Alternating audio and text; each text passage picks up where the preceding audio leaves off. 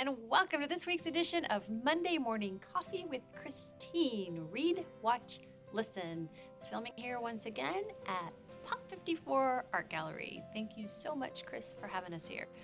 So, my read for this week is called Heaven Has No Regrets by Tessa Shaffer, a first time writer. I was very privileged to have been on a writing cruise with her in Alaska and got to meet her there and we touched base after and i got her book and didn't read it for a while just read it, read it recently blew me away the courage that she had to share the story that she had to tell is just beautiful she so beautifully illustrates what life is like for a child when their parents are divorced and they have to try to navigate two completely different families with two completely different expectations. She does that really well, but that's not even the best part. She also beautifully illustrates addiction and just basically what it's like to live being an adolescent these days and trying to navigate those rocky waters.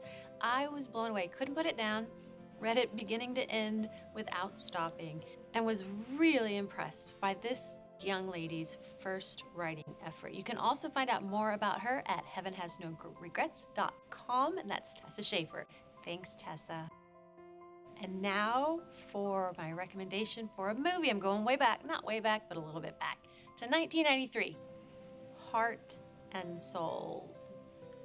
Come on, a more perfect movie has never been made. Yep, 1993, that's when my daughter was born. Maybe that's why she watched it a hundred times. I don't know.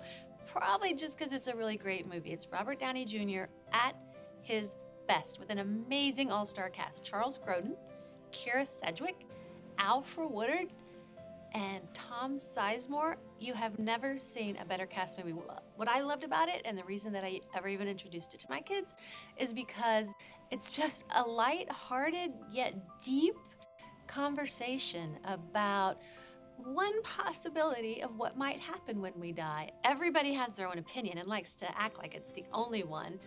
None of us really know, and this is a really cute story about some angels who kind of just can't really make their way to the other side, and they wreak havoc on this young man, Robert Downey Jr., and his girlfriend, Elizabeth Shue. Brilliant story. Loved every minute of it. You could watch it as a family, it could be a date night. Definitely, if you haven't seen it yet, watch Heart and Souls. Now for my recommendation for a song. As you all know, I love discovering new music. Totally lights me up. My sister Diana kept saying, you gotta listen to this song, you gotta listen to this song. Getting Ready to Get Down by Josh Ritter. I've never heard of Josh Ritter, never heard of the song. Finally listened to it. Wow, I love lyrics. I love lyrics that tell a story. I love those fast paced lyrics that have so many words packed in. You don't even really know what they say, not because they don't enunciate, it's just way too much information, which is really great storytelling too. I love this song, love the message. In fact, I haven't listened to it, but she says the entire album, which is called Sermon on the Rocks, is absolutely worth a listen, but definitely getting ready to get down by Josh Ritter. And that's it. So check them all out. The read, Heaven Has No Regrets by Tessa Shaffer. The film, Heart and Souls. And the listen, Getting Ready to Get Down by Josh Ritter. Thanks so much for joining me, and I'll see you next week you